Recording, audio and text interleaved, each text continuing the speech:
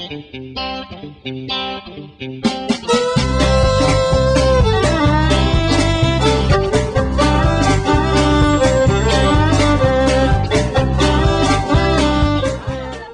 sa ating mga Pinoy, di mabubusog pag walang kanin.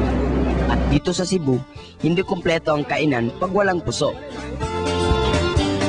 Ang puso ay kanin na ibinalot sa dahon ng niyog.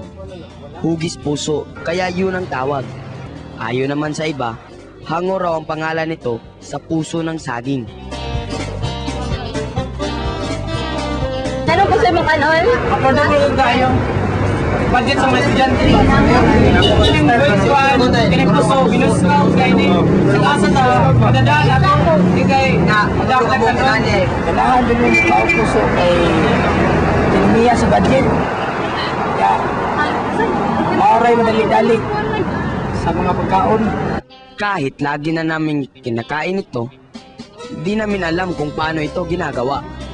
Buti pa, alamin natin. Hindi namin siya itukog, namin siya ikuan, kuhaon niya siyang tukog, then minani na siya, then imuon siya og puso, paguman, sudlan ni siya og bugas,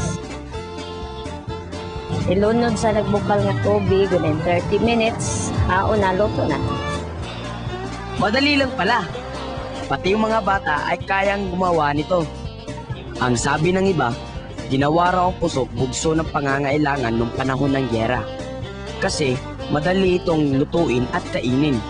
Sabi naman ng iba, mga mangingisda ang nagpauso nito. Madali kasing dalin at minsan pa raw ay hinahagis ito ng mga mangingisda sa mga karatig bangka.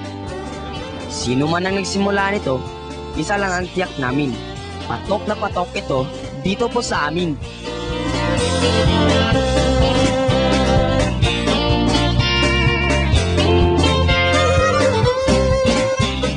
Ang Kabataan Express ay hatid sa inyo ng UNICEF.